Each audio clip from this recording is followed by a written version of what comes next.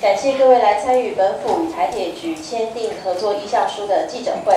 呃，台北市政府为了促进台北市南港地区的发展，打造台北市生技产业聚落，特别请交通部台铁局提供用地，由本府办理招商，双方合作开发南港转运站东站及东侧商业区的土地，并且在今天由台铁局周局长及科市长代表双方签订合作意向书。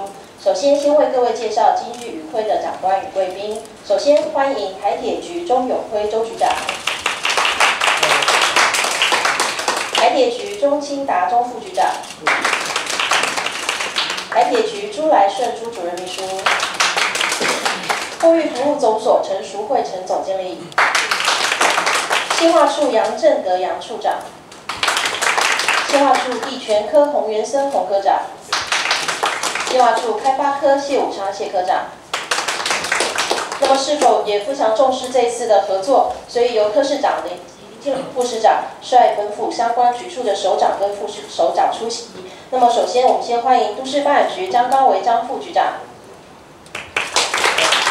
地震局李德全李局长，产业发展局林崇杰林局长，交通局钟慧玉钟局长，处陈龙明陈处长，都市更新处简玉龙简副处长。接下来呢，先请都市发展局张副局长。为各位简单的说明东区门户计划。